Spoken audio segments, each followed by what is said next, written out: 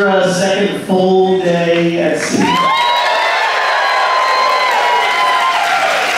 I, I was unfortunately unable to be there. I heard that the Fancy Pants Parade was quite fancy. It was extremely fancy. Always, a difficult decision needs to be made at the fancy pants. Yeah, oh, the heavy hangs the crowd. That's right, that's right. On the U.S. to judge the Fancy Pants Parade. That's what they say. Apparently you wear a crown.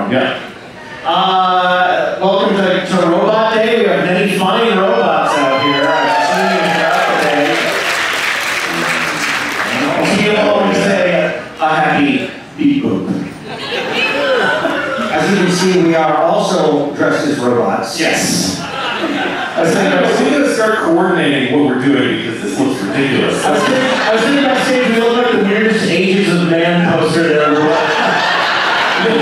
The issue is, Boja shaved, clothing, clothing shaved us so hard the other night that we just walked, waved off into some other parallel universe. It was like some ill-informed boy band. Yeah, it was the shittiest, it was the This the shittiest, the shittiest uh, album cover. I'm a concert guy.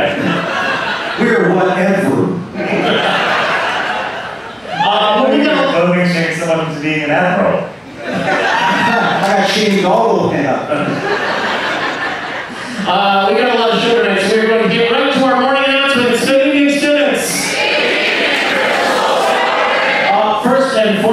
I have to issue extremely humble apologies on my behalf. Uh, there were a number of folks in the uh, 24-7 gaming tables in the Lido. Uh, Mert Lafferty, Mert Lafferty was hosting a gaming event, and because I had scheduled it across the closing of the main dining room, I put in the description of it that it was going to be taking place in the Lido in that section. I neglected to inform any of our team about that fact, so they ended up coming, and going, and I believe forcibly ejecting a table or two. If any of you are here, first of all, from the bottom of my heart, I apologize, that was my bad. And second of all, let me know after the show, we've got John Deere themed puzzles. Hopefully they can eject more than 13 people for a show. Uh, tonight, a couple of very awesome things. Another live RPG gaming session Great. Your, uh, your special guest players this evening are going to be Mert Lafferty and Mark Gags Gagliardi. So that will be fun. And also out on the CD deck tonight is Drew's party, our party meets flag. Our party means slag. Once Boston Paradise, before that, the dress party, also Pride. We're not sure what the theme is, but we really hope you join us. There shall be back deck juice. Oh, yes. Oh, and also, uh, Lee Ortiz is going to once again do a yes uh, drag king number at that, so that'll be awesome. Oh, we learned an interesting fact about Drew's back Deck Juice number two in the ranking of cocktails sold on board. Uh, and in an unfortunate double entendre, a double entendre, as of today, Drew's back Deck Juice is number two. Right behind the Bloody Mary. No, no, that's actually what it is. Yeah, true, true. Wang Wang was number four. I see that that there's been a schism in the church, I believe. When they come to the king. Um, Only one suggestively named cocktail can reign. does anyone remember what number three was? I don't remember. I don't know.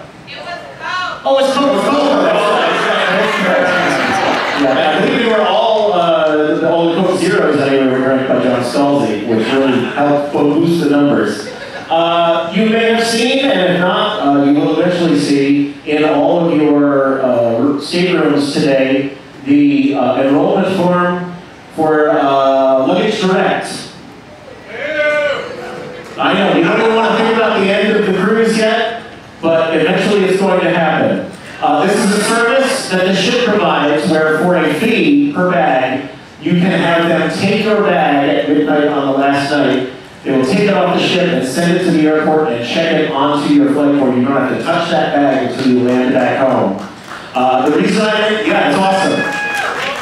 The reason I mention it now is the deadline to turn in these forms is, as it says in red up top, mid, uh, March 13th, which is two days from now at 5 p.m. And if you miss that deadline, there's nothing we or they can do about it. So if you're considering taking advantage of that program, make sure you don't out. It's the tractor of luggage services. Also, uh, today, onboard booking has opened for JoCo Cruise 2025. Drew, you care to talk a little bit about that? Indeed, uh, this evening uh, you will find, if you have not already found, onboard booking forms in your stateroom. If you're missing an onboard booking form, you can find them down in the atrium at the info desk. And if you're so antsy to book onboard for JoCo Cruise 2025 that you just can't wait until you get back to your stateroom, the onboard booking team is outside the theater on deck two, and you can complete your onboard booking form there and hand it. No, they're up here, they're actually in They're on oh, got this us. Cookie Monster. Yes, Cookie there Monster. there is Cookie Monster. What's in the box? Pain and bookings. And maybe cookies. Uh, we process onboard bookings in the order that they're received. Uh, only certain categories are available for booking on board. Uh, primarily ocean views and verandas, as that's most of what remains. Uh, there's a small inventory of suites and interior statements left on our website. Um, and I believe that I haven't just misspoken, although the final answer as to what's available is on the forms. Um, forms, booking forms will get uh, priority uh, on their placement requests in the order that they're received and processed by us. So if you have a specific place room, well, guys,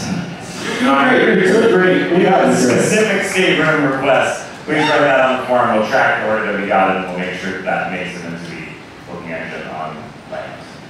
And don't worry, we're gonna talk about this for like eight more hours between now and the end of the week too. So if you missed some of that, we'll review tomorrow. Uh, tomorrow, speaking of which, we're gonna meet Grand Turk. That'd be nice to go out and touch sand.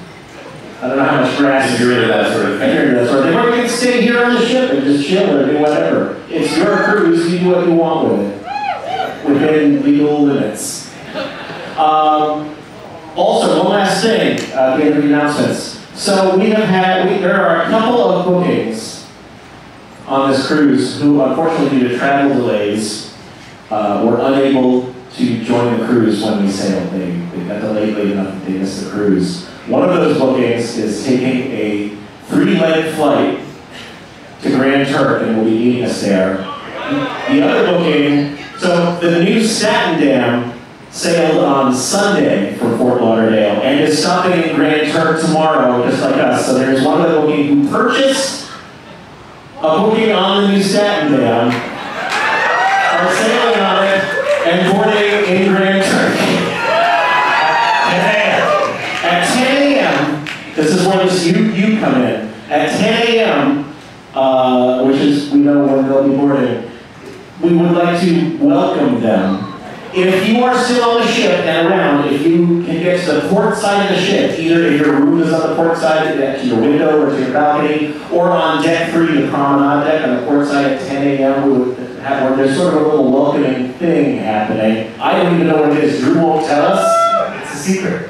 Uh, but if you want to be part of that, just at 10 a.m., we'll make an announcement tomorrow. But it it would be cool and fun, we think. So, be great. So welcome them aboard. They're two bubbles. Yes. They won't know what they are at all. No, they won't even appreciate it again. Well, We're sending one of them to the Nieuw Statendam, and they'll be on that. Uh, that ends the morning announcements. Um, Drew, would you like to, to say a little bit about our, our first guest? Because uh, you you introduced this to the to the cruise. That's true. Um, yeah, for about eight years I lived on uh, Fifth Street and Avenue C in East Village, which is not far from a nightclub that Alan Cumming opened called uh, Club Cumming. Uh, and uh, for a long time, I can't remember, was it Fridays, I think? Daphne hosted um, a show there, and uh, eventually we got to be friends, and uh, I saw her perform at the Laurie Beechman uh, downtown Manhattan, and then I brought Paul to, or up midtown Manhattan, I brought Paul to see a show downtown with Daphne. And uh, she is a cabaret performer, uh, a physics tutor, uh, and has a degree in classics from NYU. Uh, she's really a very good time. Uh, hilarious and lovely person, and I'm, I'm really honored to uh, introduce her to all of you tonight.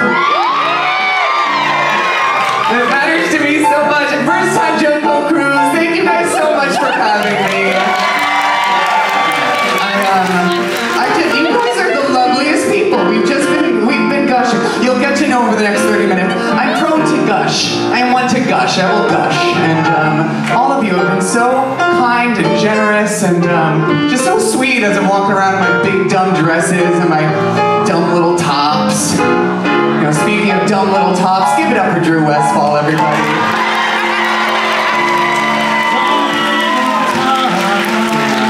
Ah, New York, they called it jazz. Um, this, is uh, uh, my beloved uh, musical collaborator and Long Island pal, James um, we've been doing shows together.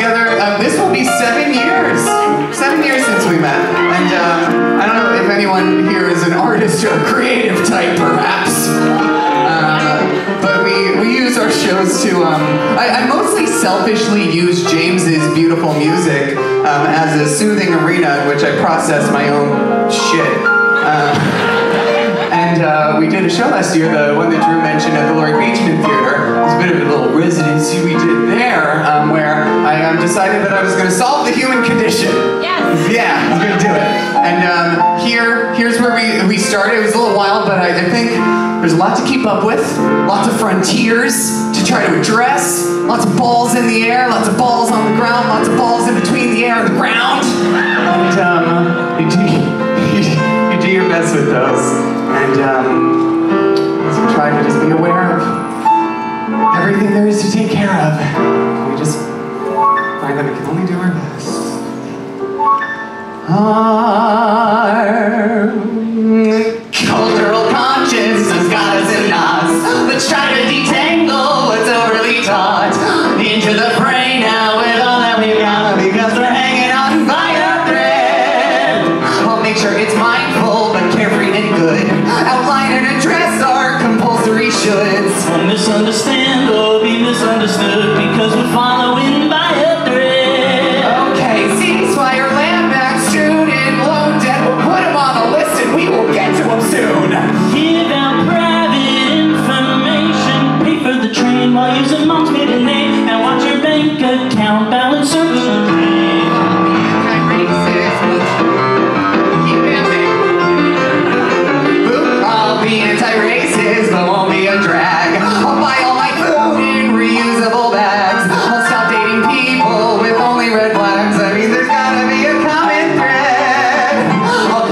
sexy, but won't be a slut. I'll keep myself real thin, but still have a butt. And I'll challenge assumptions, but go with my gut. Why would I be hanging on by a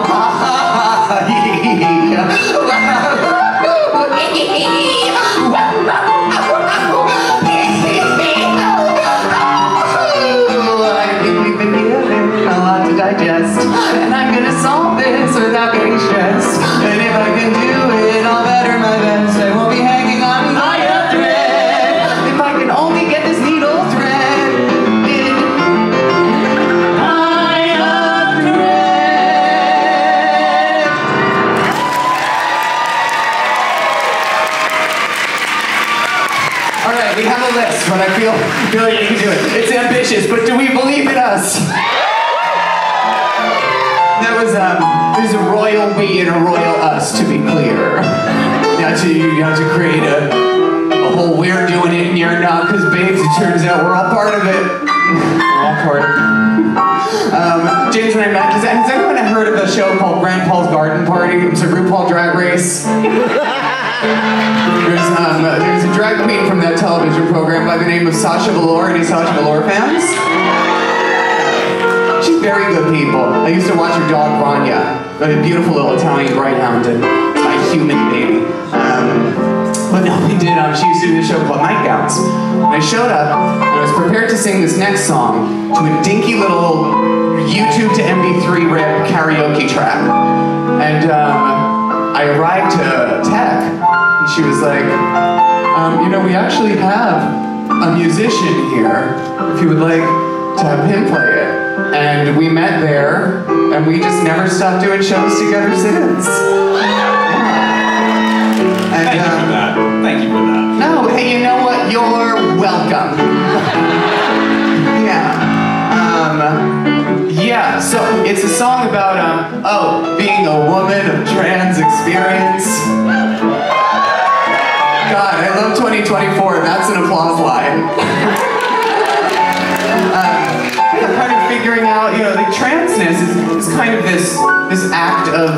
you know, intentionally participating and becoming the person you want to be. And uh, it turns out that actually kind of goes beyond just gender, and it's because you know you don't just now I'm woman, it's, you know, well, what kind of woman? What kind of person? What are your values as you carve out your desired self? Um, and also, it's a dumb song. about, um, uh, has anyone ever heard the term passing? Anyone know the term passable? Yeah. So to pass means that like were I walking down the street in the subjunctive mood, um, someone would just assume that I were um, assigned female at birth, that I would pass as a woman. And um, I take umbrage with the term because it feels like I'm trying to come off as something I'm not. When like I'm just been, I'm just here. I'm just trying not to want to hate myself when I get out of bed. And some days I'm more successful than others. Uh, like, what, I get a C? I will have you know that as of recently, I am a B. Um, yeah, so here's the song. Does anyone remember the 1998 version of Cinderella with Whitney and Brandy?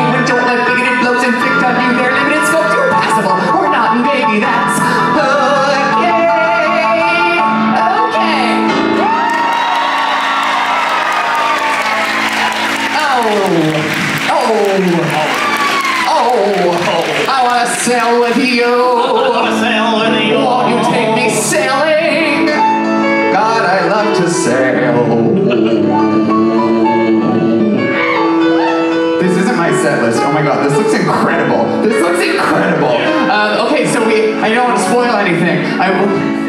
You what? Okay. no, I'm. Um, I may not be uh, Miss Bloom, but I sure can be your bud.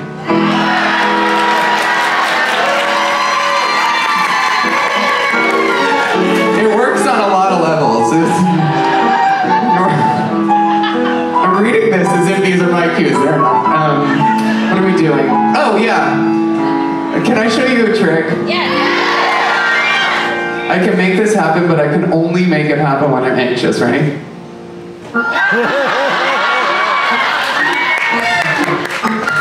now that I'm anxious, I feel like we could all use um, nice moment, grounding, nice moment to come together. Came out here with a lot of energy. I can acknowledge that.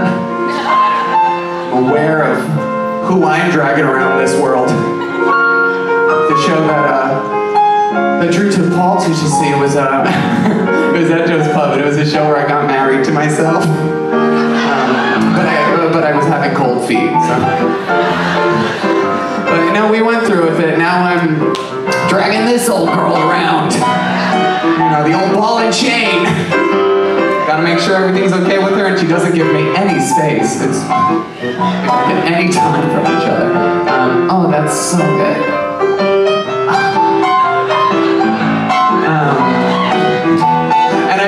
She does best when um, she has a moment to take a nice deep breath with a beautiful community of beautiful people in a beautiful theater on a beautiful ship in a beautiful sea on a beautiful planet. In a fine galaxy. Orbiting a really pretty star.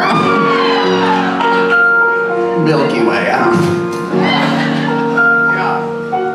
so I think it's time to open this up and welcome all of us into an affirmation circle.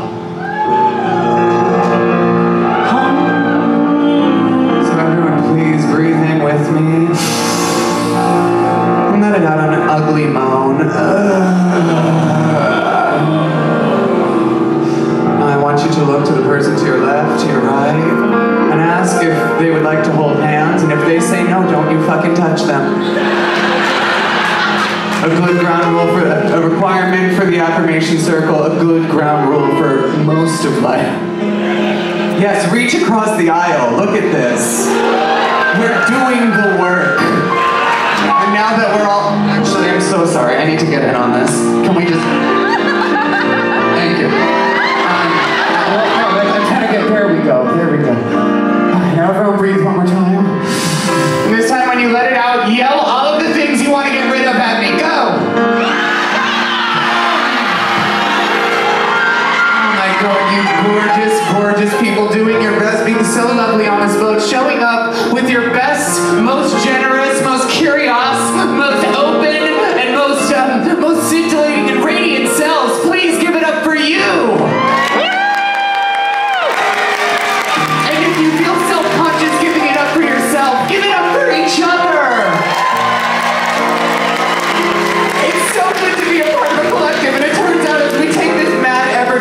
best person that we can possibly be, it turns out that we're only capable of showing up with our one little sliver of that, and the rest has to be relied upon in community, like that which we are building here today. I don't know if anyone was here, Nadine. Nadine was here doing this incredible, incredible talk about allyship, and was talking about the parallel polis, was talking about creating the space where we build the world we want to see because we show up to it authentically together. And what a beautiful opportunity to do it while we can just drink and eat as much as we want.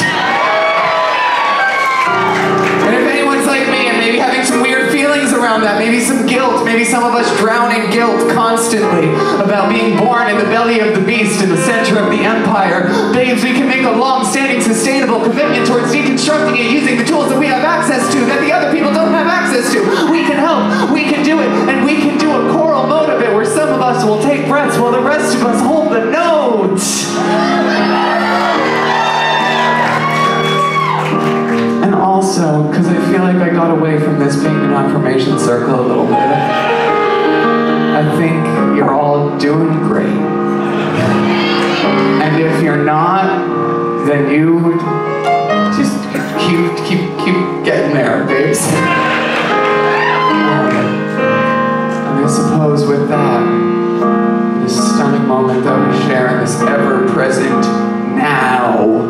This instant out of an infinity of instants, you, we have been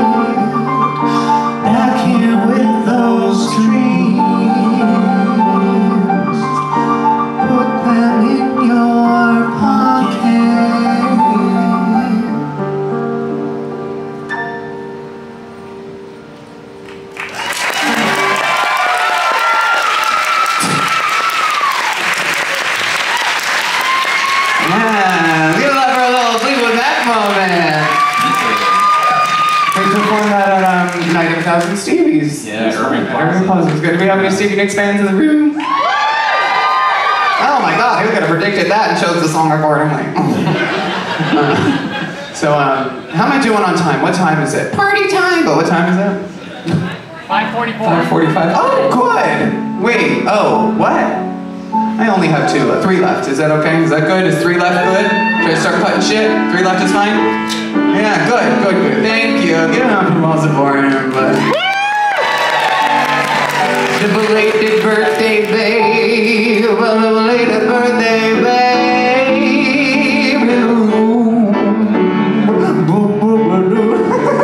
um, where was I? Oh yeah. So Drew gave me such a sparkling and generous introduction, letting you know that I have um, a degree in classics from NYU.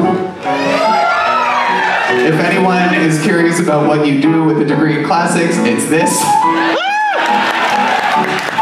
Or go into more debt and be a real overachiever like me, both. um, no, I've actually been chiseling away at my debt lately. Yeah.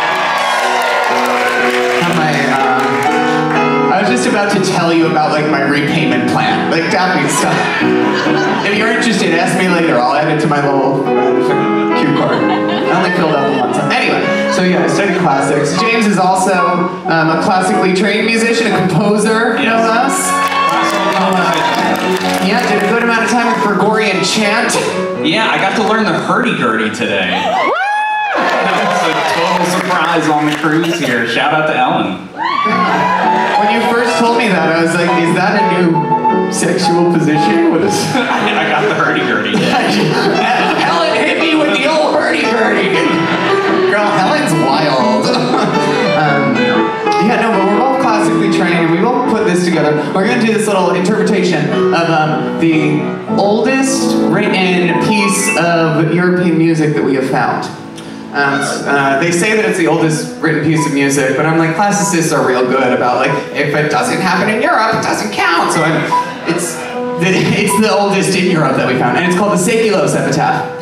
And it was written um, in the first uh, century BC in Ephesus. And they found it um, engraved on this stone that they think was um, his wife's gravestone.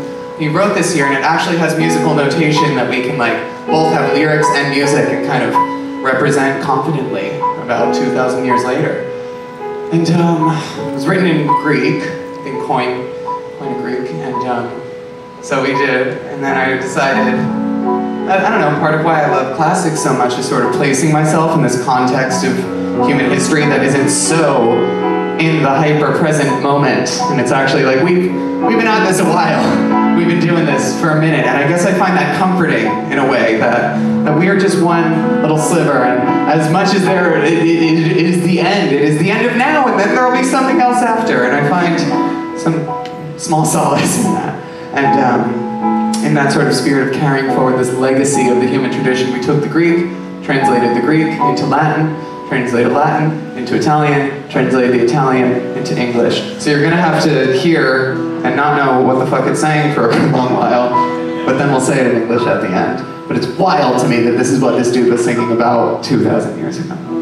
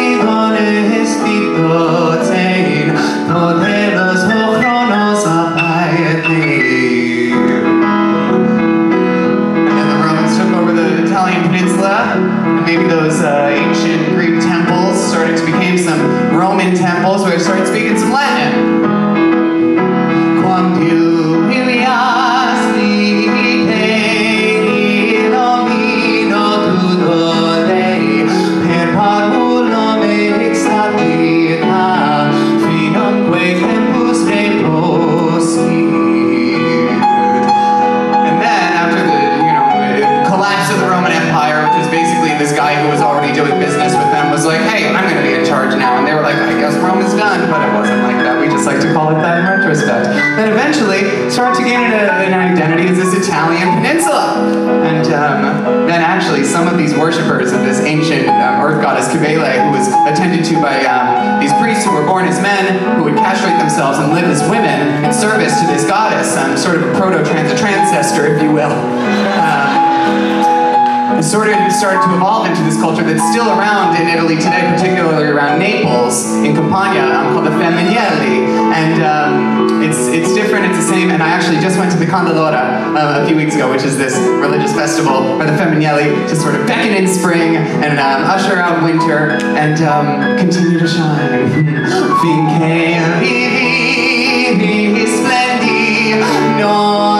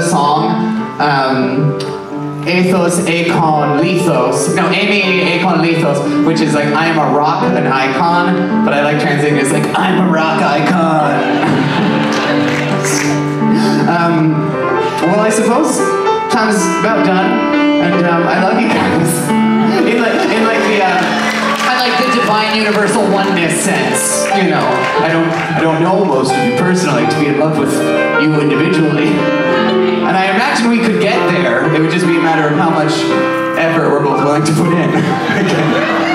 um, We love you! I'm sorry, what was that? We love you!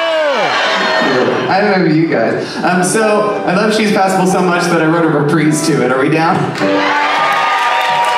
Um, as I kind of like got to work more with James and just develop and what? We have time for one more. Um, then I'm gonna make you guys get the She's Passable reprise um, at our show on Thursday because there's one more that's really important for us to perform. It's uh, the Bossa Nova number by Tom Jobim. It's called Waters of March. Anyone know it? Here's the fun part. He wrote it um, in Brazil for Brazilians, and in Brazil, in March, these sort of rainstorms come and wash away the summer and welcome in the winter, welcome in the spring. And he, it's all these specific cultural references. But then, when Bossa Nova got really big in the States, he rewrote the song and translated it into English for the Northern Hemisphere, where um, the waters of March became snow melt and spring showers, and it started to be a song about um, the welcoming of spring. It's also um, very much a Pisces season song. We're in Pisces season. Any Pisces in the room? It's the last sign in the zodiac before we restart with Aries. So I guess this song for me, while we're out here in the Caribbean on this water, it's a moment to let this cycle come to a close and let the waters of March wash away what they need to wash away and make um, make the ground fertile for a new beginning. So I invite you to let go of everything that needs to be let go of, and um,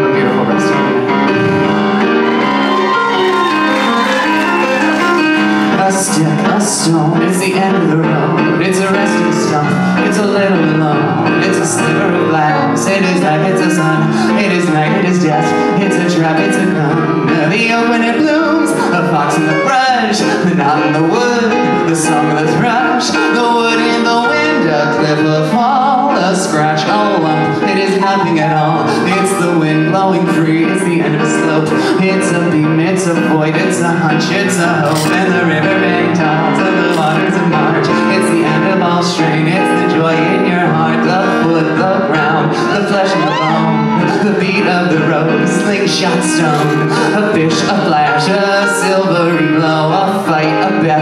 It's the range of a bow, it's the of the well, in the end of the line of a dismay the face. It's a loss, it's a find, a spear, a spike, a point, a nail, a drip, a drop. The end of a tale. It's a truckload of bricks in the soft morning light. It's the shot of a gun in the dead of the night. A mile, a must, a thrust, a bump. It's a girl, it's a rhyme, it's a cold, it's the humps. The plan of the house and the body in bed.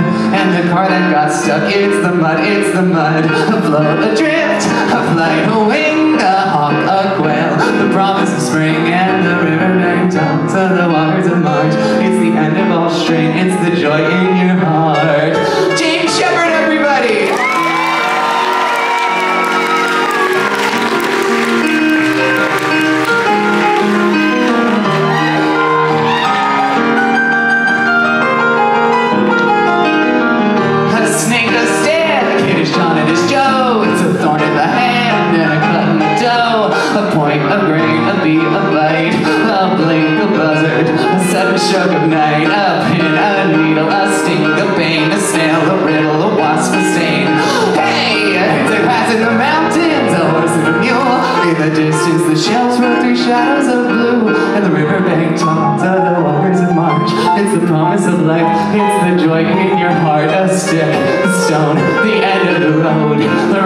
stump, a lonesome road, a sliver of glass, the life, the sun, the knife, the bed. It's the end of the run. So as I was in marzo, fechando o verão, eu promessa de vida no teu coração.